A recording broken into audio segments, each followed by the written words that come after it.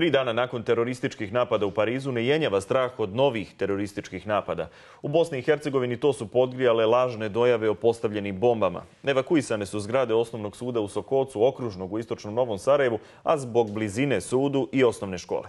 Bezbjednostne agencije u Srpskoj i Bosni i Hercegovini nikad budnije. Ministar bezbjednosti BiH Dragan Mektić nakon sastanka sa francuskim kolegama u Parizu rekao je da se za sada niko iz BiH ne dovodi u vezu sa napadima Ipak kaže da je prijetnja građanima BiH sa islamističkog bloga Vijesti umeta stigla iz Đorđije u Sjedinjenim američkim državama.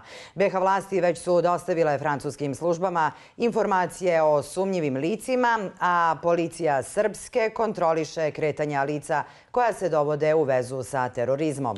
Idemo do istočnog Sarajeva. Gorane, kako na sve ovo reaguju građani? Ima li straha nakon današnjih dojava?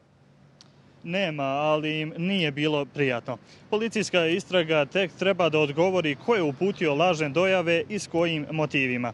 Ono što je za sada poznato jeste da je više političara dobilo SMS poruku s upozorenjem da su postavljene bombe u zgradama dva suda u Istočnom Sarajevu. Predsjednik Asocijacije stvaralaca Republike Srpske, Momčilo Krajišnik, dobio je jednu takvu poruku o čemu je obavijestio nadležne institucije, a MUP Republike Srpske istražuje ko je poslao poruku. Uporedo s ovom istragom, kompletan obavještajno-bezbjednostni aparat u BiH, uključujući i policiju Republike Srpske, povećali su mjere bezbjednosti zbog nedavnih terorističkih napada u Parizu. U fokusu su portali koji isijavaju mržnju i slave masakr. Prilog Gvozdana Šarca. Učestali teroristički napadi u svijetu stvaraju atmosferu straha i kod nas dojava o podstavljenim bombama u Sokocu i istočnom Novom Sarajevu u svijesti građana budi sjećanja na brutalni pohod terorista u Parizu. Nikako. Strašno. Obzirom na Pariz, sad smo svi u strahu. S obzirom da su sve te bojave bile lažne dojave, ne osjeća strah. Sadržaj poruke ne djeluje bezazleno. Nepoznati pošiljalac napisao je da je nemoguće deaktivirati bombu, čak je naveo i vrijeme eksplozije. Primavcu SMS poruke je sugerisao da zato na vrijeme evakuiše ljude. Hvala Bogu da je lažna i to je ovako možda i dobro da imamo na umu da se malo više, ovaj, više opreza imamo, jer danas ovim svijetom hodaju mnogi ljudi koji ne misle dobro ni narodu, ni, ni možda ni sami sebi. Radimo na provjeri telefonskog broja sa kog su upućene poruke. Mislim da se ovdje e, ne radi o nekom terorističkom aktu i o pokušaju izvršenja terorističkog akta.